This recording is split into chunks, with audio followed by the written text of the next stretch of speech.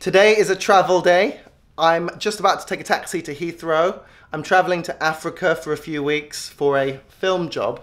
But first, I want to make a quick video breaking down the work of legendary street photographer Matt Stuart and seeing what inspiration and learnings we can take by studying his work. What we're missing something. Oh, intro.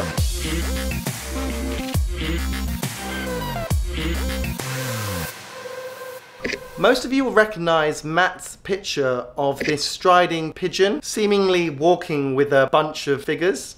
This picture is often seen as the iconic street photography image, not only because it's been plastered on every street photography book out there, but it's funny, it's witty, and it captures everyday real life.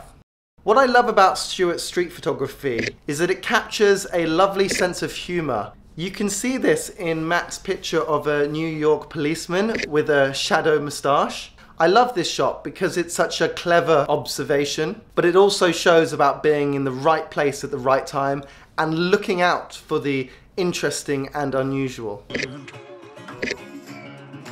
For those up and coming street photographers, Stuart's got a great quote that I fished out online.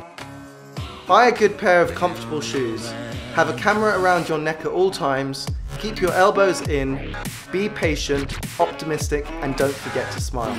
I think that's great advice. It's all about hitting the road, going out there, walking, having a camera with you, and seeing what you discover.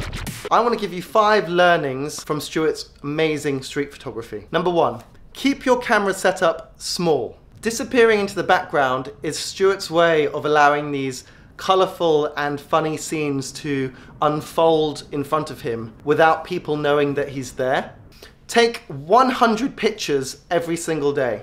A lot of Stuart's work on the streets, as you can see, is very unpredictable and spur of the moment. He must take over 100 pictures a day, which increases the chances of him capturing that one perfect shot.